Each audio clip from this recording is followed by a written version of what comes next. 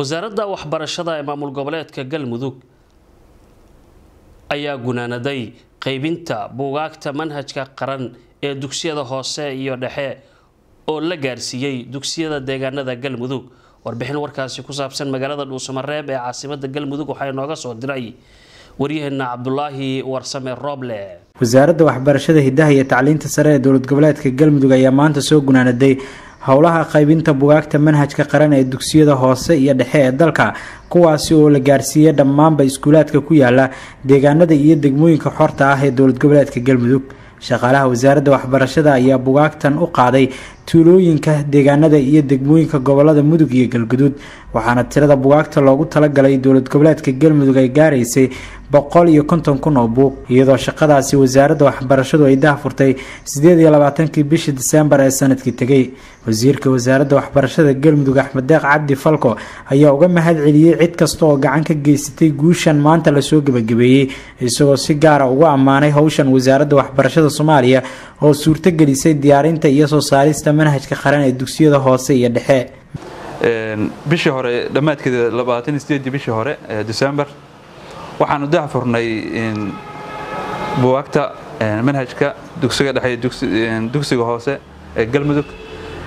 Maantay taariikhdu tahay sagaalka bishana waxaanu soo gagabeynay qaybta u dambeysay. Buwaagtaanu tiradooda gaaraysay boqol iyo konton kun oo buug. Baan ilaahay waxaan uga mahadinayna in maanta si nabad ah aan qaybta u dambeysay halkaanu ku qaybinay. Buwaagtan waxay gaartay ardada reer galmudug oo dhan. Meel kasta ay joogaan hadday joogaan mudug iyo hadday joogaan galgaduud waxaa aad iyo aad runtii farxad u ah in degmooyin aad iyo aad u fog ama aad u dheer in loo safray in la gaarsiiyo buwaagtan. Qaarkood boqolaal kilomitr loo safray sida jariiban iyo hobyo kale in la gaarsiiyey iyo meesha laga soo galo galmudug dhanka mxuaha hirshabeelle iyo dhanka mxuaha xuduudaha hadday tahay dhan walbo ay maanta iskuul galmudug oo ka jiro. Degmooyinka horta galmudug waa la gaarsiiyey buwaagtan si nabad ah ayayna ku gaareen. Waxaa farxad weyn runtii u ah waxbarashada mxuaha galmudug maanta in ardadeenu helayaan manhaj ay iyagu leeyihiin oo ka turtumayay mxuaha wadaniyadda oo ka turtumayay mxuaha soomaalinimada aynan leeyahay hal mowqif oo ah waxbarashadu ay maanta midaysan tahay. Waxa weeyaan waa runtii waa guul weyn oo la gaaro dhanka waxbarashada. Haddana ardadoona helayaan buwaag original ah oo taya leh si fiiriya ardadoona ku helayaan runtii ayadana wax kaloo runtii lagu farxo. Marka waxaan rajay doonaa inay mxuaha dardaaran halkan uga jeediyo mxuaha waaridiinta maamulayaasha bahda waxbarashada ardada dhammaan in buwaagtan ay xifdiyaan ay noqdaan buwaag uu leeyahay qaranku uu leeyahay in mxuaha arday walba maalinta uu ka dhammaado buwaagtan oo fasalka uu ka dhammaado fasalka labaad walaalkiis uu ka dhaxlo aynu iskuulka ku soo noqon doonaan buwaagtaas ay noqdaan mxuaha buwaag ay jiilba jiil oo ka dhaxlo maadaama ay yihiin buwaag tayadooda aada u fiican tahay. Waxaan rajay doonaa inay mustaqbalka buwaagta ardadeena mxuaha jiilka soo kacaya isticmaali doonaan haddii ilah yidhaahdo ay noqon doonin maalin walba ama sanad walba in buwaag cusub la qaybiyo in kuwaan ay noqdaan kuwo aada loo xifdiyey. Marka maadaama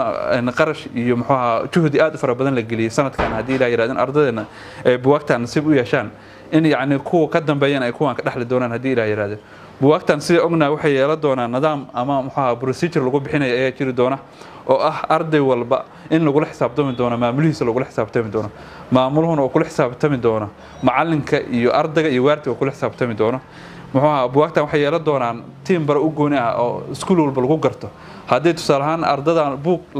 iskuul hebel la siiyey lagu arko suuqa lagu arko waxaa loo maxkamaday doonaa iskuulkii ama maamulihii lagu wareejaya loo maxkamayn doonaa. Marka sidaas daraaddeed buwaagtan hadda la qaybiyey wasaaraddu qaybisay waa buwaag aan marnaba suuqa lagu arki doonin marnaba in la gada ay mamnuuc tahay. Oo xaq uu leeyahay ardayga wax ku barto. Maalintuu fasalkaad ka dhammaadana uu ku wareeji doono ardayga ka dambeeya lagu wareeji doono. Si yacni maxay u noqoto wax la iska dhaxlay oo yacni loona ilaaliyo haykalka dowladnimada loogana ilaaliyo musuq maasuqa wixii dowladda bixiyay ama wixii hantida qaranka looga ilaaliyo. Marka aad iyo aad runtii u faraxsanahay waxaan soo dhaweynayaa oo runtii aan ugu mahad celinayaa intii nagala shaqaysay howlahan shaqaalaha wasaaradda oo dhan ugu horreeya agaasimaha guud